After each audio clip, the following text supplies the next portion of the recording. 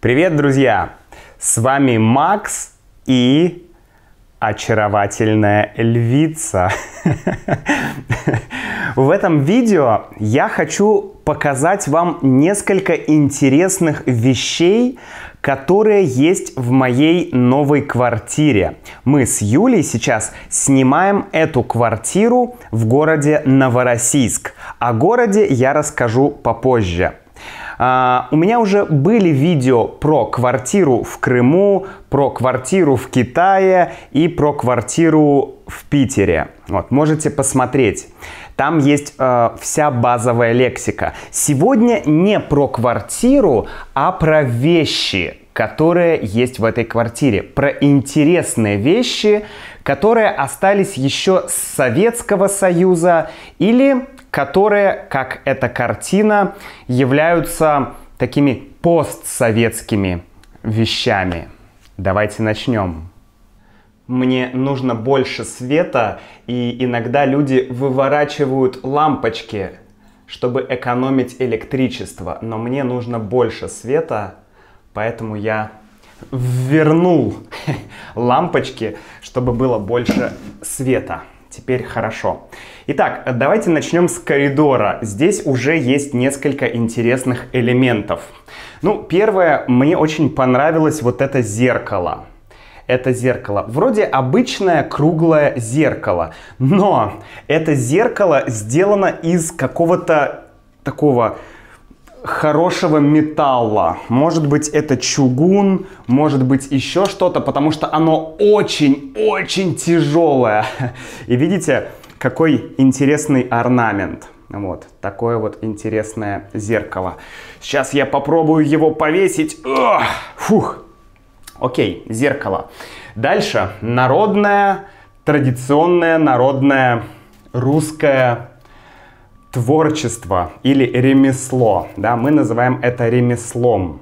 Какой-то человек, ремесленник сделал это. Он сплел эту ну, корзинку. Да? Видите, это абсолютно такая плетеная, плетеная корзинка. Она сплетена из лозы. Мне кажется, очень красиво. Да? А, это один элемент. Другой элемент — это уже историческая часть. Вот здесь находится, я не знаю, наверное, пано. Я бы назвал это пано. Но, может быть, я не прав. А, и здесь написано «Олимпиада 80-й год». Да? Это имеет отношение, конечно, к Олимпиаде, которая проходила в Москве в 1980 году. Ну, правда, само пано не очень интересное, как мне кажется, но... Кстати, это знаете что? Это даже, наверное, это чеканка. У меня есть подозрение, что это чеканка. Но я не уверен. Окей, в любом случае, вот такой интересный всадник. Всадник на коне. Следующий элемент, этот, э, эта штука была в каждой российской, в каждой советской, а потом и российской семье. Это утюг. Вот этот утюг, я вам потом его покажу, он был просто у всех. Посмотрите, да, электроутюг, электрическая ютия, не знаю, какой это язык, и electric iron, да, круто, на трех языках. В общем, это просто, э, вон здесь даже написано Made in USSR, то есть это такой, ну, стандартный утюг. У всех моих знакомых был этот самый утюг, вот такой вот, да. Там была функция, значит, отпаривателя. Пш, когда утюг отпаривает одежду, да, ты туда льешь воду и а, можно отпаривать вещи. Ну, еще я тут нашел такие интересные часы. Тоже старые часы, они даже тикают. Не знаю, слышно вам или нет, но эти часы реально тикают. И интересно то, что это часы, которые нужно заводить. Здесь есть механическая часть, пружина. Ты их заводишь, и они ходят. Это прикольно. Я давно не видел таких часов. Хорошо. Мы заехали в эту квартиру буквально вчера, поэтому я еще не посмотрел все. Мы только-только разложили наши вещи. Мы развесили одежду. Э, вот здесь наши скейтборды с Юлей. Э, здесь наша обувь. И смотрите, вот здесь стоят книги. В этой квартире и вообще в советской квартире вы будете видеть книги очень часто и очень много. Потому что, ну, такие интеллигентные, интеллектуальные люди, да и просто среднестатистическая семья в СССР любила читать. И э, книги было трудно достать. Ты не мог просто пойти в магазин и купить книгу, да, например, Лермонтова. Уа! Да, ты не мог купить книгу Лермонтова. А, но люди по-разному доставали эти книги. Иногда легально, иногда полулегально, иногда нелегально.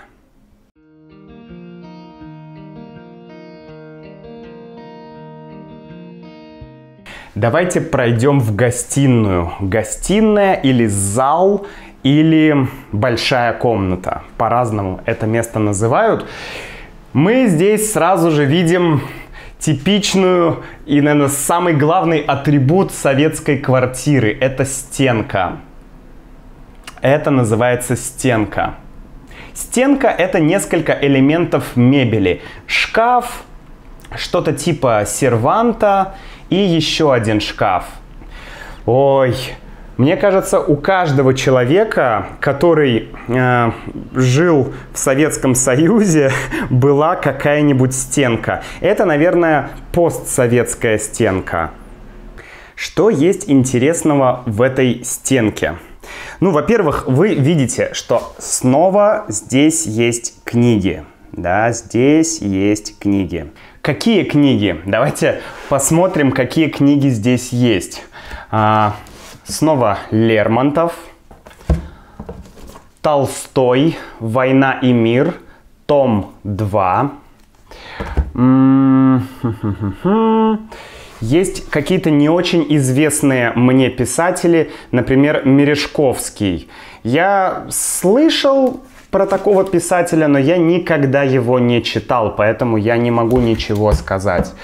Ну и есть, конечно, супер популярные в советское время писатели, например, Джек Лондон.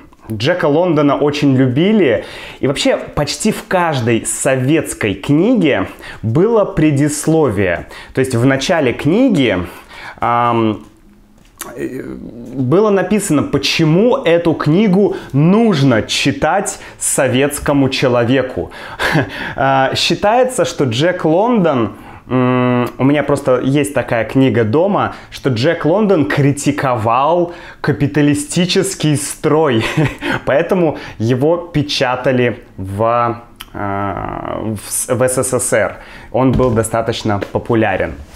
Здесь чуть выше есть тоже книги, и вот это э, старые книги, и вот здесь книги, которые мы уже привезли с Юлей, которые мы будем читать.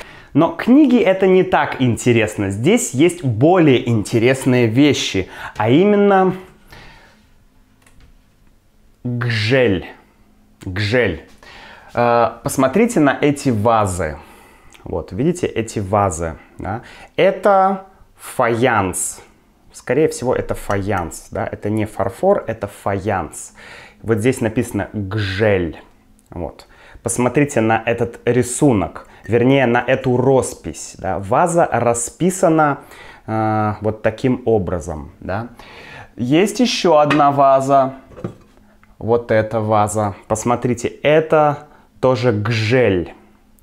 Э, тоже рисунок, белый фон и такая голубая роспись.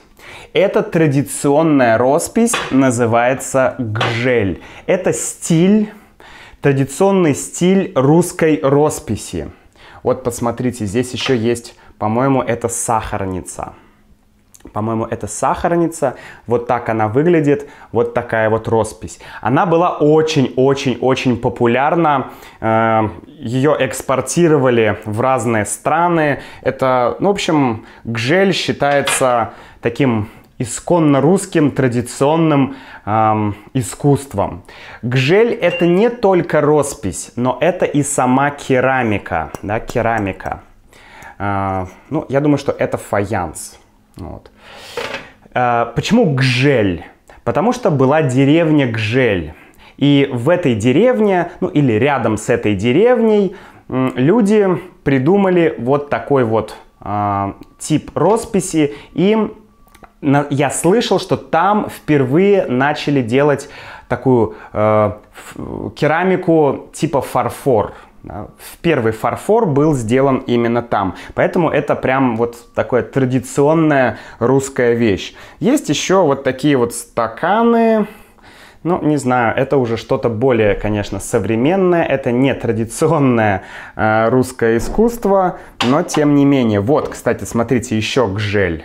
Да, вот, пожалуйста, видите? Я не, я не знаю, как все эти элементы посуды называются, честно говоря, а, потому что я, я современный человек, а, но моя бабушка знает все. Она знает, как называются, вот, вот как называется это. Это, кстати, хрусталь. И, возможно, это салатница. Такая тяжелая штука, видите, хрусталь. Вообще прям очень красиво. Вот еще есть такая хрустальная а, не знаю, может быть тоже салатница, я не уверен. У моей бабушки были точно такие же штуки, точно такие же. Вот, это хрусталь. Ну и здесь снова гжель. Я думаю, что это уже что-то более современное. А, здесь, видите, двухглавый орел. Ну, это либо гжель, либо это как бы сделано в стиле, в стиле гжель, да, то есть похоже очень. Хорошо, здесь еще есть очень интересный элемент, который мне нравится, и это люстра. Обратите внимание на эту люстру.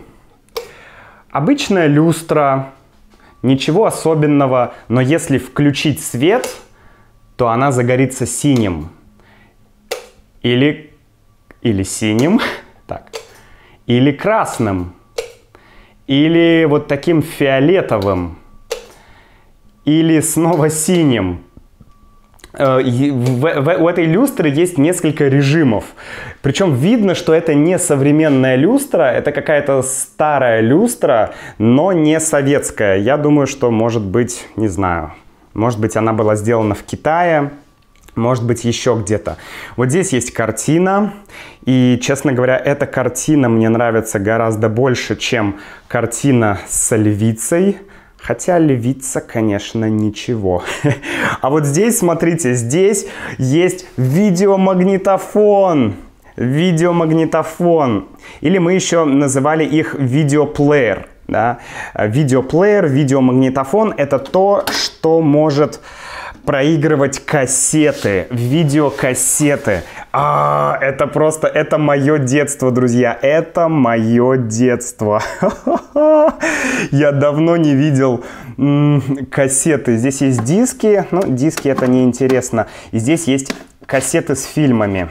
О, а это, кстати, а это же, это же, это же кассеты от старой видеокамеры. Смотрите, Polaroid. Ого-го. Точно, это кассеты от видеокамеры. Наверное, на этой кассете есть какая-нибудь видеозапись. Было бы интересно посмотреть. А может быть, она и пустая. Смотрите, «Телохранитель» с Кевином Костнером и Уитни Хьюстон. Вот, видите, моя мама очень-очень любила этот фильм. Что здесь еще есть? Так, здесь у нас «Каникулы в Простоквашино», мультфильм. «Серые волки» о заговоре против Никиты Сергеевича Хрущева. Я не смотрел такой фильм. Прикольно. В общем, много-много старых видеокассет и, конечно же, видеомагнитофон. Вообще, вот такой видеомагнитофон, сделанный в Японии, это в конце 80-х и в начале 90-х это было просто мега-супер ценная вещь. Просто мега-супер ценная вещь это была. Каждый хотел иметь такой видеомагнитофон. И я помню, что когда у нас появился такой видик, мы называли их видик, это телек, телевизор, а это видик, видеомагнитофон, то я был просто в восторге. Вау, я могу смотреть фильмы! Следующий элемент это вот этот комод, но это относительно современный комод, это не старый комод. Такие статуэтки, я, кстати, не знаю, насколько они, ну да, это достаточно старые статуэтки. Видите, собаки, охотничья собака э, и вот такая собака. Ваза с сушеными цветами, кстати, выглядит очень неплохо. И самый-самый главный элемент, который здесь есть, это второй тип традиционной русской росписи. Он называется хохлома. Вот, посмотрите на это. Это, это традиционная роспись, которая называется хохлома. Вот здесь есть такой, такая штука, маленькая штука, возможно, для соли или для, ну, наверное, для соли, да, или для каких-то специй. Вот еще одна емкость такая вот интересная. И есть такой большой кувшин. Большой кувшин.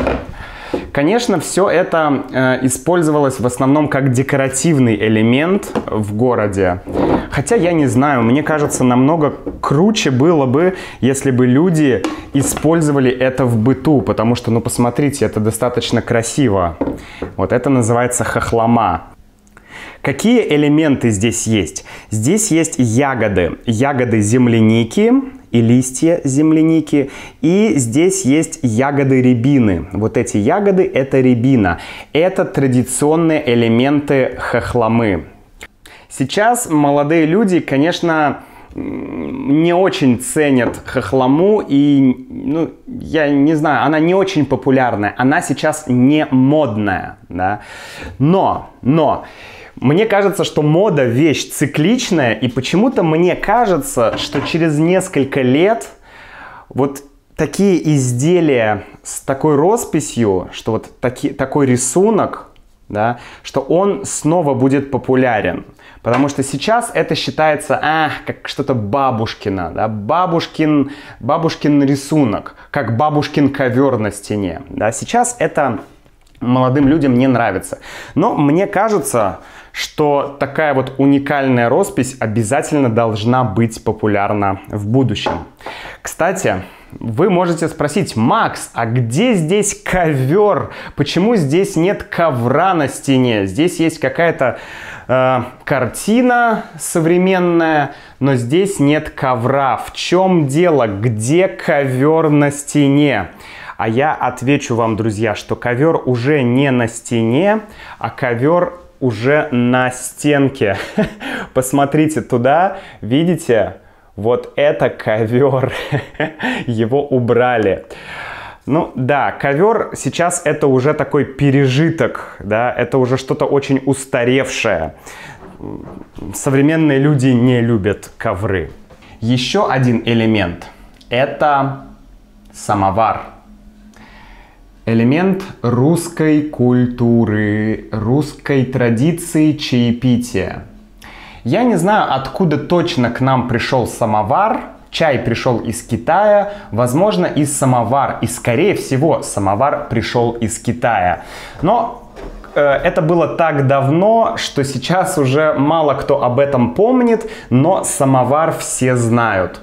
Самовар, по сути, это, это это такой чайник. С помощью него люди кипятили воду и пили чай. Вся семья сидела за столом, большое количество человек. Вот сюда наливали воду, ну, это электрический э, самовар, да. Но вообще сюда наливали воду, а вот здесь сверху было отверстие для э, угля или для небольших поленьев.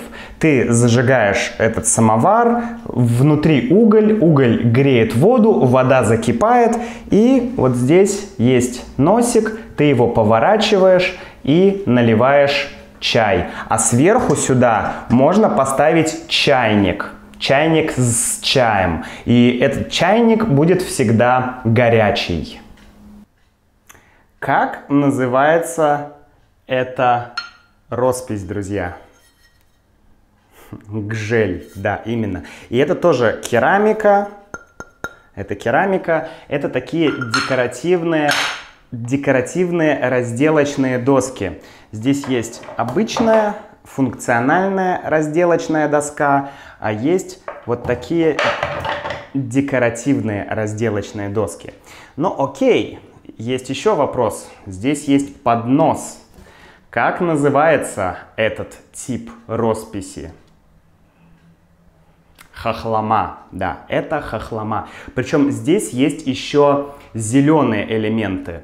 В хохломе использовались желтый, красный, черный, иногда зеленый, иногда голубой. Но вообще вот это классический вариант. Здесь есть еще пару интересных вещей. Это терм, ну, во-первых, собака.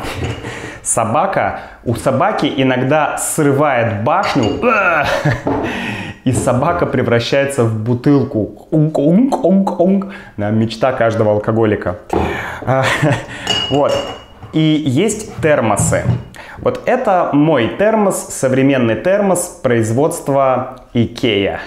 Ну, по крайней мере, я купил его в Икее. Ничего интересного, чистый функционал. А вот это, друзья, это настоящие китайские термосы. Дело в том, что Советский Союз и Китай очень дружили. И в СССР из Китая привозили термосы. Видите, здесь вообще нет ничего на русском языке, все на китайском. Кай – открыть, гуан – закрыть. Вот, мы открываем, нажимаем эту кнопку, и горячая вода льется отсюда. И посмотрите, кстати, на традиционный китайский на традиционную китайскую роспись. Да? Я не знаю, как она называется, но мне кажется, есть что-то немножко похожее с хохломой, правда? Что-то есть. Ну, или с гжелью. Ну, традиционная роспись, она всегда похожа. И есть еще один термос, а, тоже местный, и он тоже китайский. Я думаю, что я обязательно буду использовать эти термосы, потому что я люблю пить чай, и это очень удобно использовать вот такой старый-старый, но еще функциональный термос. Здесь есть еще много интересных элементов. Например, вот этот спиртик в шкафу. Спиртик.